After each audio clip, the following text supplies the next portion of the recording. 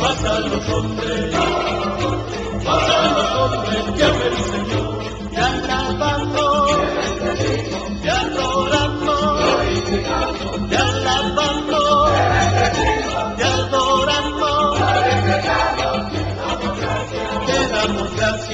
Señores, estamos recibiendo, lo habíamos anunciado, a Monseñor Daniel Esturla, obispo auxiliar de Montevideo. ¿Qué tal, padre? ¿Cómo le va? Buen día. Buenos días, un gusto estar acá en la radio, un gusto estar contigo. Sí, eh, igualmente de recibirlo, padre.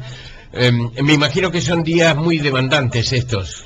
Bueno, sí, porque siempre junto a la Navidad viene mucha gente que también quiere hablar con uno, hay misas diversas, hay experiencias también ahora de, de misiones en distintos barrios de Montevideo, también en el interior, de jóvenes que van a hacer una misión, en fin, hay muchas cosas sin duda en estos días, todas lindas.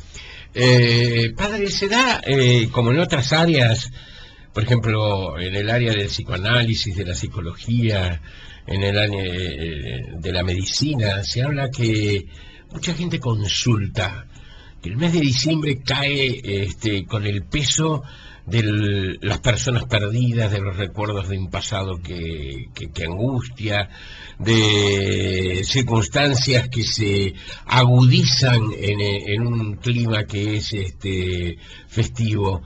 Este, a través de la confesión y a través del diálogo personal, este, ¿ustedes observan que eso ocurre también en el mes de diciembre? Bueno, sí, ocurre, también hay una realidad que es que tanto en la preparación a la Navidad como en la preparación a la Pascua, en la Semana Santa, bueno, la iglesia misma incentiva que haya celebraciones penitenciales, que se llama, es decir, donde la gente de las diversas parroquias eh, participa de una celebración donde tienen la oportunidad de confesarse. O sea que de hecho hay una parte que está incentivada por la misma iglesia.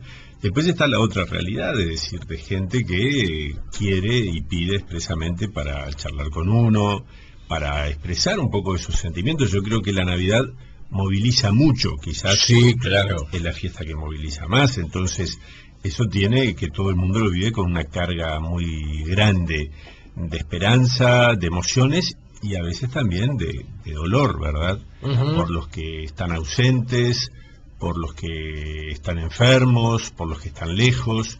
Todo eso crea una situación particular, anímica, emotiva. Todos quisiéramos en la Navidad estar todos juntos y felices, y la realidad es más compleja. Claro. Padre, y desde esa perspectiva, ¿cuál es el aporte que se puede realizar?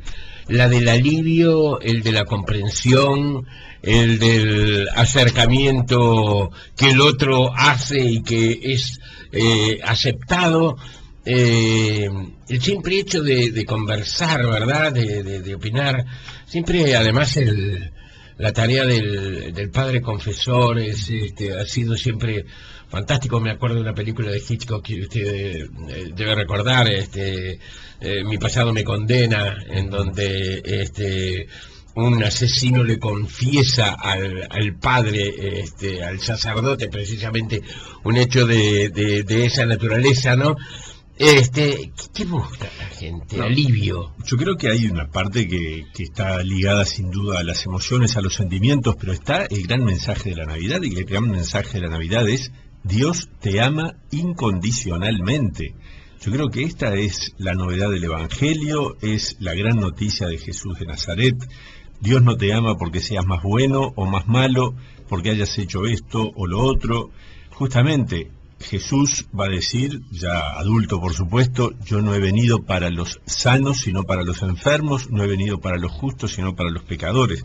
Entonces yo creo que el gran anuncio de la Navidad es, Dios te ama incondicionalmente, así en la situación en la que estás, en lo que vives, Dios te ama y te perdona, porque la gente, obviamente muchas veces va al sacerdote también a, plantear situaciones, pero la mayoría de las veces cuando se acerca a la confesión es a pedir perdón. Hay un, un autor inglés muy famoso del siglo pasado, Chesterton, que él se hizo católico porque decía, la Iglesia Católica es la única que me asegura el perdón de mis pecados. Entonces yo creo, vaya, vaya seguridad que da la iglesia, para uno que cree obviamente, que es decir, bueno, mira, yo en nombre de Dios te absuelvo, te perdono de tus pecados.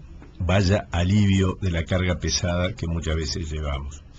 Eh, en fechas como la de hoy, hay muchísima gente que sabe qué es lo que está celebrando. Y hay mucha gente que celebra por una práctica cultural, digamos, ¿verdad? No sé si el término es Sí, correcto, sí, ¿eh? sí. por una, una, una costumbre. Este, ¿Qué deberían saber estos que no saben qué se, qué se celebra hoy? A mí me pasó, hay una anécdota que a mí me encanta contar. Yo en el año 95 tuve la alegría de visitar Tierra Santa. Cuando llegábamos a Nazaret, el sacerdote que dirigía la peregrinación, éramos todos curas que íbamos allí, dijo, aquí en Nazaret se ha unido el cielo y la tierra. Y para todos, el modo de decirlo, el llegar a ese lugar fue muy importante. Yo creo, ¿qué es lo que todos tenemos que saber más allá, incluso, bueno, Navidad es un momento de encuentro entre el ser humano, cada uno de nosotros, y Dios. ¿Y Dios qué es? Es aquel que nos ha creado, que nos ama, que nos espera al final del camino, pero que acompaña nuestro caminar. Yo digo, todos, no digo que todos seamos creyentes, porque hay gente que sinceramente no lo es, todos necesitamos, sí, de una palabra de, de aliento, de cariño, de amor. Qué cosa más bonita que es sabernos amados. Bueno, la Navidad es la gran noticia de que hay quien nos ama, como yo decía hace un rato, incondicionalmente. Ojalá que todos, aún los que quizás celebran, digamos, culturalmente, tradicionalmente, experimenten de algún modo. Hay un amor más fuerte, más fuerte que todo, más fuerte que la muerte, como dice la Biblia de un modo muy, muy bonito, que es el amor de Dios. Que ojalá lo descubran en ese niño, en ese niño de Belén, que es el Dios que se hace hombre. Eh, ¿En qué quedamos? ¿Es de Nazaret o es de Belén? Yo recientemente estuve en Israel, crucé hacia Palestina e ingresé en terreno palestino para ir a Belén. Sentí en un lugar que es mucho más pequeño que este estudio en el cual estamos, una emoción enorme y vi la emoción de la gente, ¿eh? porque eh, está eh, el sitio donde supuestamente, no sé si está bien de- decir Sí. supuestamente, ¿verdad? Nació este, Jesús, porque pudo haber nacido en, en- en ese lugar, pero en, un sitio más alejado, y enfrente está lo que vendría a ser el, el retablo, eso que tantas veces lo, lo- lo armamos en, en- en nuestro hogar, ¿verdad? Y este y la emoción era muy profunda. Y yo sospecho que no todos eran católicos los que estaban allí, pero sentían una, una cosa este, muy honda, ¿eh? este, realmente que, que no era eh, teatralizada, eh, teatralizada, sino que era una cosa de sentirse en el lugar donde ocurrió algo muy grande para los hombres. Tal cual. Bueno, lo de Nazaret, Belén es muy sencillo. O sea, María y José vivían en Nazaret, tuvieron que ir a Belén. Ahí está el relato que hace el Evangelio de Lucas del censo que había eh, el emperador Augusto convocado. En fin, van a Belén. El nacimiento del niño es en Belén. Luego de una serie de peripecias, vuelven a Nazaret, donde Jesús se cría. O sea que ambos lugares tienen que ver con la infancia de Jesús. Belén es hermosísimo, ese lugar que usted decía, qué, qué lindo lugar de encuentro. Precioso lugar. Y al mismo tiempo, qué complejo, porque también ahí está la, la, la historia humana con sus complejidades, así como la época de Jesús, toda esa zona era una tierra ocupada por el imperio romano. Hoy esa zona también es zona de conflictos, porque allí uno tiene que pasar barrera, fronteras, sí. barreras, el muro, en fin, es complejo. También es una señal, ¿verdad? Dios no se hace hombre en medio de una situación idílica. Dios se hace hombre en medio de la situación compleja de la trama humana que siempre está cargada de conflictos. Eh, mm, no hay nada escrito por, por, por Jesús, no ha quedado No. nada... este, Yo tenía un gran profesor de literatura que decía, los dos que nos han ayudado a pensar en Sócrates. Occidente, Sócrates y Jesús, no han escrito. Cierto, cierto. Pero sí sus discípulos, ¿verdad? Sí, exa- exactamente. Platón estuvo por un lado y luego llegaron eh, todos aquellos que de alguna forma han, han creído en este, en esto que es este, una corriente que ha sobrevivido al tiempo, que a veces parece apagarse, ¿no? Y a veces parece tomar este empuje. ¿Qué encuentra en, en- Jesús? ¿Qué se encuentra en Jesús que va más allá del paso del tiempo? Y yo digo, en Jesús uno se encuentra con Dios el Padre, ¿no? Y si nosotros decimos, bueno, quizás también por uruguayos, por una serie de cosas que nos pasa a nosotros los uruguayos, que están ligados también a nuestro estilo, a nuestra forma de ser, cuando se habla de Dios nos viene como un cierto pudor y tenemos una imagen medio de Dios como un algo, eh, está la frase esa famosa, yo digo muy uruguaya, algo debe existir. Sí, sí, sí. No creo, pero algo debe Sí. haber. En cambio, para el cristiano, ese algo se transforma en un alguien que se revela en un rostro concreto, Dios que se revela en el rostro de Jesús, en la figura humana de Jesús, Dios que se hace hombre. Entonces, uno que encuentra a Jesús, encuentra a Dios.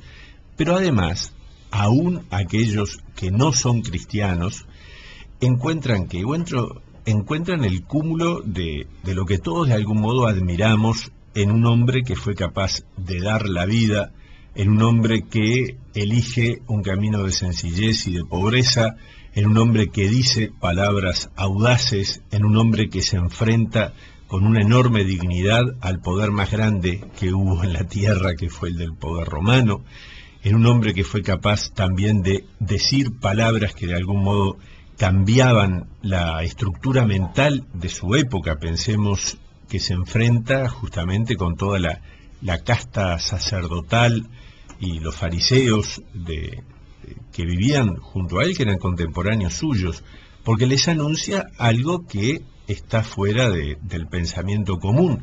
Y ese, sobre todo, hay un anuncio fantástico de Jesús, que es ese amor de Dios por los pecadores, ¿no? Es decir, Dios que ama incondicionalmente, Dios que ama a todos, un mensaje que es además no solo para un pueblo, el pueblo elegido, sino que es para todos los pueblos, la universalidad del mensaje cristiano. Y mm, como usted recién decía de Belén, pensemos que aún los musulmanes tienen una cierta veneración por Jesús como profeta, incluso veneran a María Santísima, obviamente no en el sentido que le damos en la fe cristiana, ¿verdad? Pero hay también un respeto hacia la figura de Jesús, el profeta Jesús para ellos, y la madre del profeta Jesús, María. Eh, hay muchas eh, historias contadas independientemente, ¿verdad?, de, de la Biblia, de los eh, que han narrado los apóstoles. Hay muchas historias, hay muchas personas que desde el punto de vista de la historia, desde el punto de vista hasta de la soci- sociología o, o de la historia de las religiones, este, han pretendido este, acercarse a la figura de, de Jesús. Hay mucho de misterio este, en su vida, ¿no? Este, hay algunos pasajes, incluso, hay algunos pasajes en donde, este, digamos, Jesús es una persona más, donde cuesta, encontrar huellas de su paso este, por, este mundo. En realidad la revolución la hizo en muy poco tiempo, porque fue una revolución. Sí, claro, eh, hasta el punto de que nosotros hablamos en la historia de un antes de Cristo y después de Cristo, ¿verdad? Eso de haber fijado la era cristiana, eso fue mucho tiempo después de la vida de Jesús, pero de algún modo marca toda la historia del Occidente, por lo pronto, y podemos decir del mundo. Pero fueron dos, tres años de vida pública de Jesús, de los 33 Tres. que se habla que vivió, que tampoco es una fecha exacta, digamos, pero si pensamos que de los 33 años Jesús solamente tuvo una actuación pública de dos, tres años, bueno, ahí es que nos queda ese silencio de Nazaret que ha dado origen, por supuesto, a especulaciones fantásticas, pero también a una realidad, digamos, de aproximación a ese misterio de la vida de un Dios que al hacerse hombre quiso pensar con cabeza de hombre, trabajar con manos de hombre y llevar una vida humana como la que llevaba su gente de esa época de Palestina. Eh, ¿Usted cree que el hombre contemporáneo se ha acercado a Jesús o se ha distanciado de Jesús? Bueno, cuando hablamos del hombre contemporáneo, siempre es una cuestión, digamos, de algún modo muy general. Oficial o general. Yo creo que es muy diverso, ¿verdad? Si uno piensa que el mundo de hoy de algún modo está globalizado, eh, el cristianismo en algunos lugares eh, tiene una pujanza enorme y en otros lugares está en una situación, digamos así, alicaída, justamente en el occidente, sobre todo europeo, tiene una situación de cierta capa caída. En Estados Unidos, por ejemplo, sin embargo, hay una pujanza importante del cristianismo, de la Iglesia Católica en particular. En América Latina es muy diverso la situación de los países de América Central, la, la situación del Uruguay, digamos así. De todas formas, yo digo, el hombre lo que busca es ser feliz. ¿Y qué es lo que aporta la fe cristiana? La fe cristiana lo que aporta en definitiva es la felicidad porque aporta la respuesta de la verdad a los grandes interrogantes del corazón humano. Entonces, en la medida en que el hombre en su búsqueda de felicidad va desechando aquellas cosas que, que no lo hacen de verdad feliz, se va a ir encontrando con Jesús. Pero cada generación tiene su propia impronta también, ¿no? Quizás la generación actual aquí entre nosotros en el Uruguay no es que uno diga, bueno, nosotros vemos una pujante realidad de búsqueda de Jesús, no, no es así, pero uno ve cantidad de jóvenes, habría que ver después en porcentajes, que tienen una búsqueda de felicidad y de verdad, y muchos de ellos se encuentran con la fe en Jesús. Eh, usted tal vez diga, pero qué inadecuada el planteamiento de la pregunta. Pero uno va, ve hasta en las tribunas de fútbol, no solamente en Uruguay, sino también en el exterior, banderas con la imagen del Che. Y sin embargo no vemos banderas con la imagen de Jesús. Usted dirá, bueno, este, son circunstancias que se dan a partir de un estadio cultural o, o, de una... Eh, ¿No cree que este, hemos fallado en la transmisión de lo que Jesús ha significado? Porque aún en el no creyente, Jesús fue una figura histórica inigualada, ¿eh? fantástica. Este, eh, ¿No cree que algo ha faltado este, expresar de esa, de esa figura humana este, admirable? Este, Por supuesto. O que, lo hemos hecho muy mal. Yo digo, Tampoco podemos generalizar porque, pero sin duda hay un tema de comunicación complejo hoy y hay signos muy evidentes de esta presencia de Jesús que no se ven o que no tienen, digamos así, en este en este en esta sociedad donde los medios de comunicación han cobrado una importancia que antes no existía, no tienen, digamos así, la, el, fulgor de algo que se propaga. Eh, pienso, por ejemplo, yo este año que he sido obispo auxiliar Montevideo, eh, nombrado hace un año, y entonces he conocido realidades de la iglesia mismo en el Uruguay que no tienen casi mucha luz. Esta semana estuvimos, por ejemplo, visitando las cárceles. Hay toda una cantidad de gente que tiene eh, la pastoral carcelaria, que están haciendo una tarea hermosa a ese nivel. Hay otras realidades de iglesia, por ejemplo, las hermanas de Teresa de Calcuta que están en Florida, que están acá en Montevideo y están en Las Piedras. Son realidades hermosísimas está la realidad esa silenciosa de tantos religiosos y religiosas y laicos que con su trabajo tienen un anuncio estupendo de Jesús. Ahora esta semana vuelven del África eh, tres jóvenes uruguayos que fueron por un año allí a prestar un servicio. Es decir, hay muchas, digamos, anuncios de Jesús que quizás lo que no tienen es la fuerza de ese anuncio público que otras realidades lo tienen. Mencionabas lo de el Che Guevara, por ejemplo, u otras realidades que de repente golpean más a la opinión pública o que tienen más, más prensa, digamos así.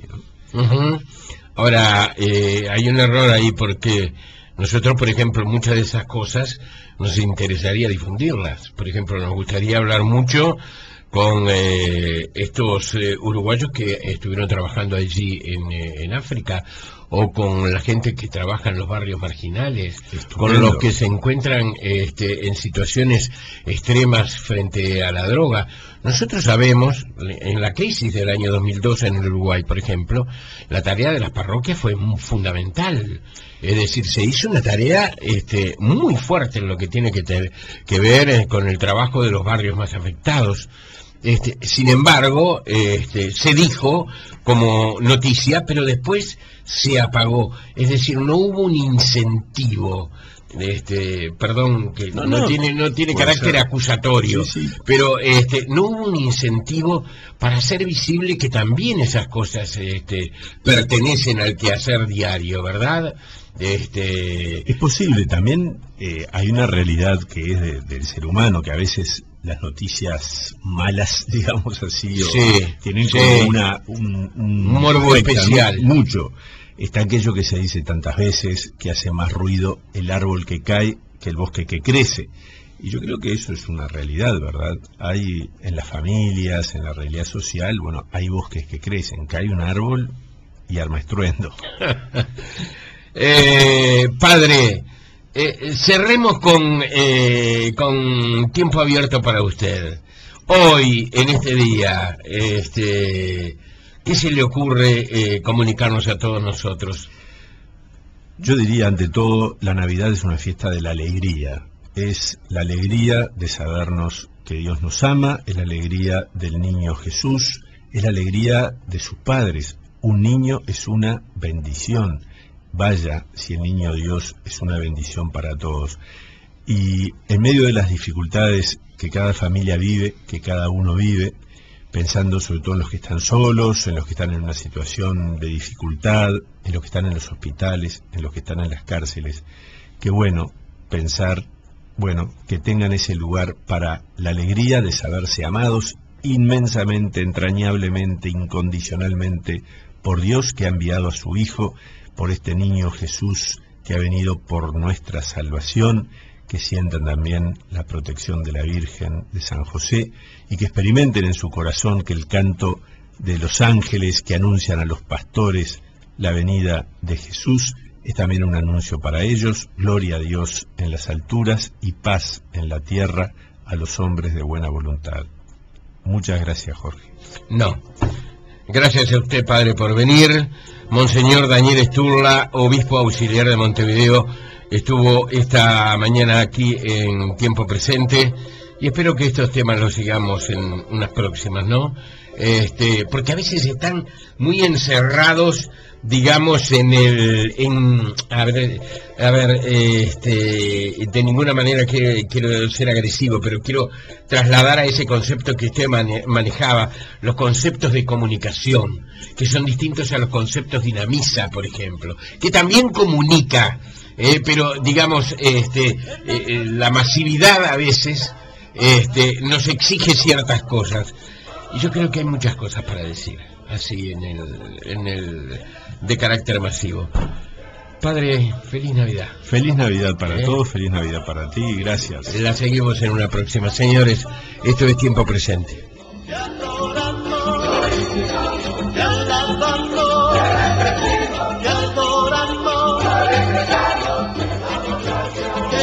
Gracias. gloria en las alturas pasan los hombres,